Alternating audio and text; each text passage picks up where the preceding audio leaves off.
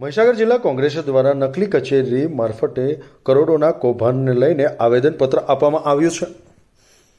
છોટાઉદેપુર તેમજ દાહોદ જિલ્લામાં નકલી સરકારી કચેરીઓ ઊભી કરી કરોડો રૂપિયાનું કૌભાંડ કર્યું હોવાનું બહાર આવ્યું છે. મહીસાગર જિલ્લા કોંગ્રેસ દ્વારા યોગ્ય તપાસની માંગને લઈને મહીસાગર જિલ્લા કલેક્ટરને આવેદનપત્ર આપવામાં આવ્યું છે. જિલ્લા કોંગ્રેસના પ્રમુખ સુરેશભાઈ પટેલ સહિત કોંગ્રેસના કાર્યકરો તેમજ હોદ્દેદારો મોટી સંખ્યામાં ઉપસ્થિત રહ્યા હતા. જમીલા દીવાનો રિપોર્ટ ન્યૂઝ ટુડે મહીસાગર.